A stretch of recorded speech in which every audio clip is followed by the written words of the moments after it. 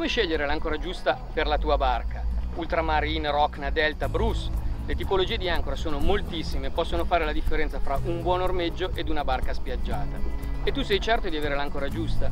Oggi vedremo insieme le varie tipologie e i loro principali utilizzi.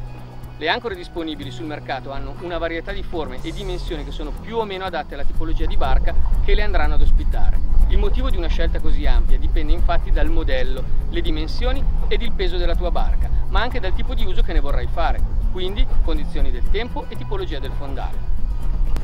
Molti armatori scelgono la loro ancora basandosi quasi solamente sulla comodità di lancio e stivaggio. È chiaro che un natante di 8 metri non potrà ospitare una grossa ancora da 30 kg, ma in ogni caso ci sono vari fattori da valutare. Andiamo ad analizzarli uno per uno. Le ancore vengono classificate in base a diversi fattori, il principale dei quali è la forma. Molti sostengono che la tenuta dell'ancora sia dovuta principalmente al suo peso, ma in realtà, come dicevamo, l'ancora fa testa meglio o peggio, soprattutto in base al suo design e dal tipo di fondale su cui è utilizzata.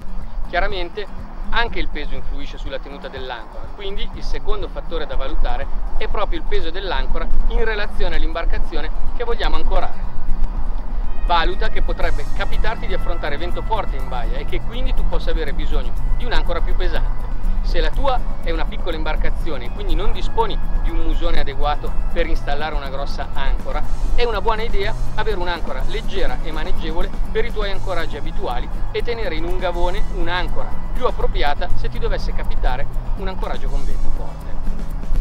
Ogni ancora ha le sue specifiche, quindi prima dell'acquisto cerca o richiedi la sua scheda tecnica o fitment guide in questi grafici, oltre alle specifiche dell'ancora, viene riportato quale ancora dovrai acquistare in base alla lunghezza e dislocamento della tua barca. A questo proposito voglio ricordarti che l'help desk del nostro store ainelson.com è a tua disposizione per qualunque informazione tu voglia richiedere. Questo è un fattore non sempre valutabile, sarà infatti più semplice scegliere la tua ancora se usi sempre le stesse rade e quindi conosci molto bene i fondali che frequenti.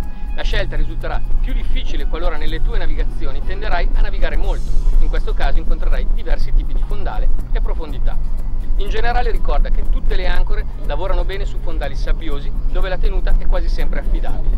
Nel fango dovrai essere certo di far penetrare bene la tua ancora per raggiungere lo strato più profondo e più duro, dove la tenuta sarà sicuramente migliore. Mentre sui fondali dove sono presenti molte alghe è importante il peso dell'ancora. Fondali rocciosi, dove il pericolo maggiore è dato dall'incagliamento dell'ancora. Qui scatta quasi obbligatoriamente l'utilizzo del grippiale, del quale abbiamo già parlato nel video 5 consigli per ormeggiare in rada. Dall'ammiragliato alla ultramarine ora vedremo le caratteristiche di ciascuna ancora e come si comporta rispetto al fondale.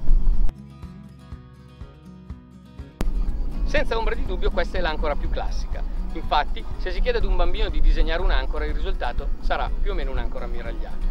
Sicuramente di ottima tenuta su tutti i tipi di fondale, si presta però poco sul naviglio da diporto per la sua forma e dimensioni che ne rendono complicato l'uso.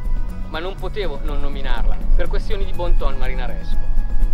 Una piccola curiosità, l'ammiragliato è proprio l'ancora che ti devi tatuare se hai attraversato l'Atlantico. Questa è un'ancora detta a maglie piatte articolate. È sicuramente un'ottima ancora per barche di piccole dimensioni o per essere utilizzata come seconda ancora. Grazie alla sua progettazione infatti è facilmente stoccabile in un gavone o per essere tenuta sui pulpiti in appositi supporti e pronta al uso.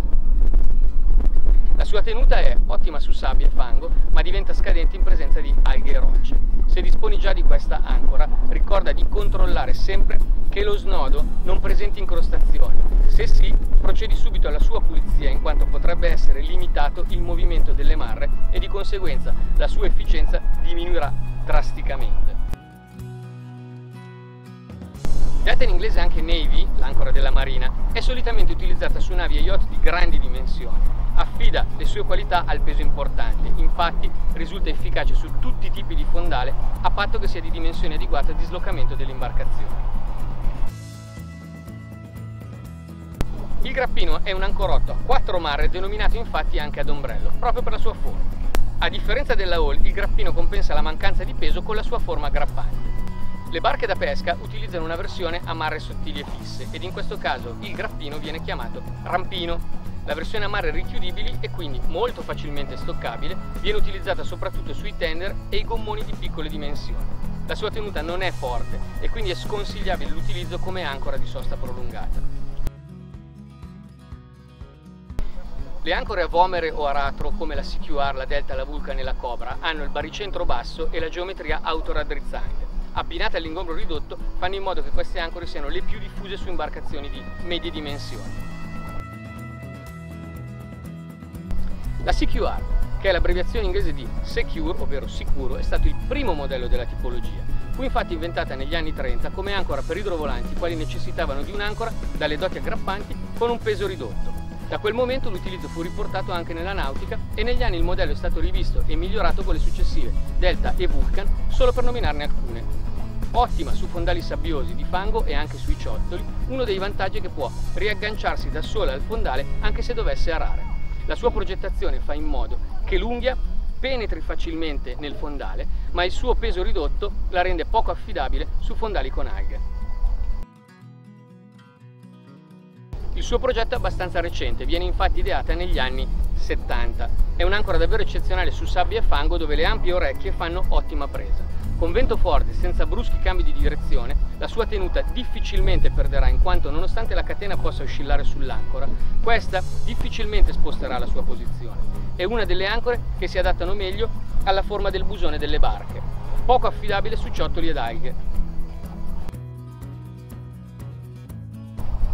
Ecco le indiscusse regine del momento. Ormai quasi tutti i giramondo hanno abbandonato i vecchi modelli per acquistare una delle ancore di nuova generazione. Indubbiamente tutte queste ancore si distinguono per le grandi prestazioni. Il contro è che il loro prezzo è più alto rispetto alle ancore classiche, ma vediamole una per una. Nata da un progetto francese del 98, è forse la prima ancora definita di nuova generazione 50% del suo peso è spostato verso la punta ed il suo gambo è concavo. In questo modo la penetrazione del fondale viene facilitata dal posizionamento automatico dell'ancora. Per quanto riguarda le marre, queste prendono la forma concava di quelle della Bruce, assicurando una buona tenuta anche in caso di brandeggio impegnativo. Le sue dimensioni non ingombano eccessivamente il musone. La sua caratteristica principale è il roll bar con il quale è praticamente impossibile posizionarla al contrario sul fondale, anche facendolo di proposito. Le sue dimensioni sono abbastanza contenute elevando la presenza del roll bar, quindi si adatta facilmente ai musoni delle barche. Puoi acquistare Rockna in acciaio inox o in acciaio galvanizzato. La garanzia vita ti farà sentire sicuramente più tranquillo. Anche lei è dotata di roll bar, è però composta da più pezzi che dovrai assemblare. La forma delle sue lame è decisamente più ampia della Rockna e questa caratteristica le conferisce il vantaggio di una tenuta di fondale ancora migliore, soprattutto su sabbia e fango. La sua voluminosità è però anche il suo svantaggio. Se deciderai di acquistarla, controlla bene le dimensioni per essere certo di poterla mettere sul musone della tua barca. Costituita da una struttura monopezzi in acciaio inossidabile 316, è sicuramente un'ancora efficiente, durevole e bella da vedere.